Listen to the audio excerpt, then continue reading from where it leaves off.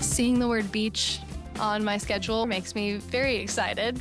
The second that I got out of my car, I could smell the ocean air and I just felt like a weight lifted off my shoulders. It really makes me feel at home.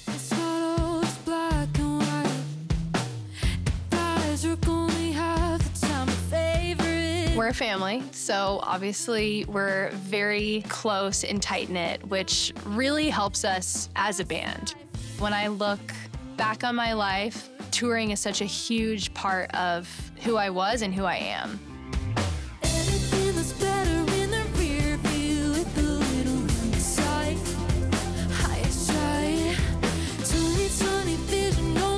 We've been writing songs together since I was seven.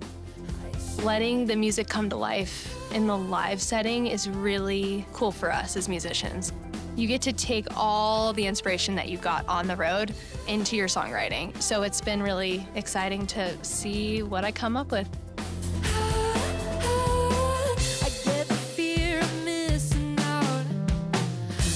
It's really important for me to just stop for a minute I get to have a little bit of this peaceful feeling in the beginning before all the craziness of doing a show.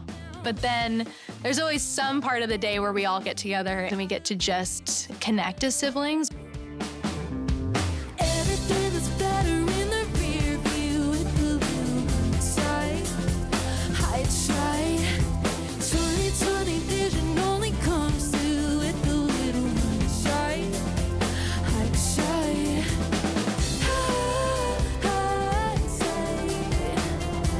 Touring brings us closer to the heart of our fans. On stage, I'm getting to make eye contact with hopefully as many people as possible.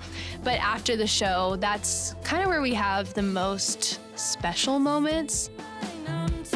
Getting that face to face interaction really gives us so much joy and gratitude, really, because we wouldn't be even able to play a stage anywhere if they weren't there.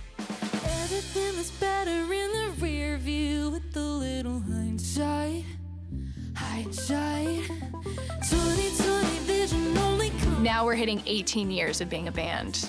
We've all changed so much, but I would say for the better. So I'm really grateful that I get to do this and I get to do it with people I love. And hopefully we get to just keep growing up together on the road.